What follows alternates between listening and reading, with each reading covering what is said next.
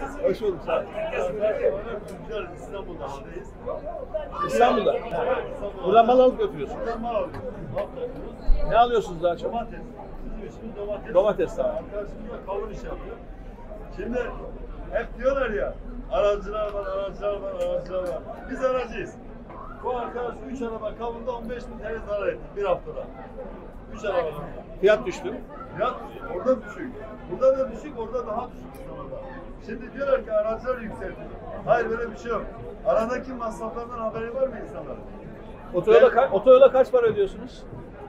Sadece otoyola gidiş geliş 500 lira para gidiyor. Gidiş geliş 500 lira. 500 lira sadece otoyola tırlara. E bunlar hepsi e, masrafa yükleniyor.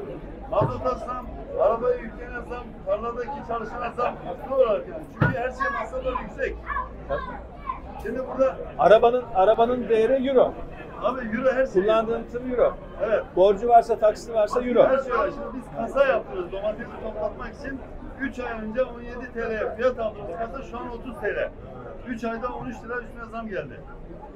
Yani bunlar hep aracıya satıyorlar. A101 Şok BİM. Üçü de ne sattığı belli.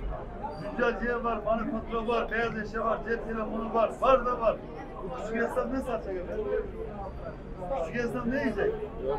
Manav var. Biz burada domatesi atıyoruz mesela. Alıyoruz yani belli bir yasa var. Yüksek olmasını istiyoruz her zaman.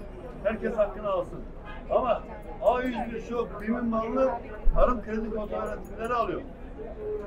Piyasaya asıl kızıştıran onlar. Onlar. Tarım İnşallah kre- başkanımız dertlerimize deva olacak inşallah. Deva olmaya geldi inşallah. Tarım kredi malı topluyor, onlara mı satıyor? Bunlara veriyor evet. Yani anlayacağım bütün pazarcının da marketçinin de halcinin de işini kendileri yapıyorlar. Kendileri yapmak istiyorlar. Arada da bizi kötü adam ilan ediyor. Aracılar, aracılar, aracılar. Biz kasa yaptıramadık. Bize 40 bin adet kasa lazım. Şu anda yeni sene. Kasa yaptıramadık. 30 TL. Tırın kasası.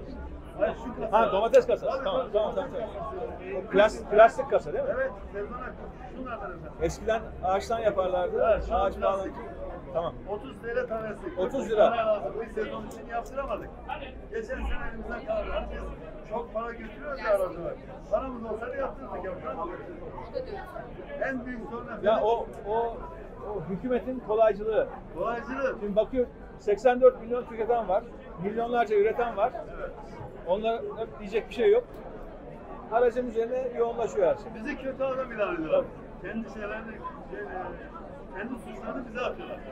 Politikasızlığı, her alanda politikasızlık var. Tarımda da bir politika yok. Yok hiçbir Ama politika. bunun bir suçlusu lazım. E, suçlu benim diyemeyeceğine göre ne diyor? İşte aracı diyor, kuru soğan depocusu diyor, bir şey diyor yani. Bazı, geçen sene pazarcı esnafı suçlu dediler. Evet. Pazarcı esnafı da terörist dediler ya. Utanmadan ya. Böyle bir şey olur mu?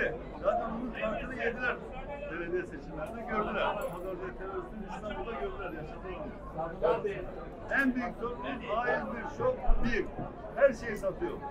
Ya buradaki küçük bakkalcı, manavcı, kasapçı ne satacak ya? Mobilyacı, beyaz eşyacı. Şu anda A101 beyaz eşyaya kampanya başladı. Krediyle satmaya başladı.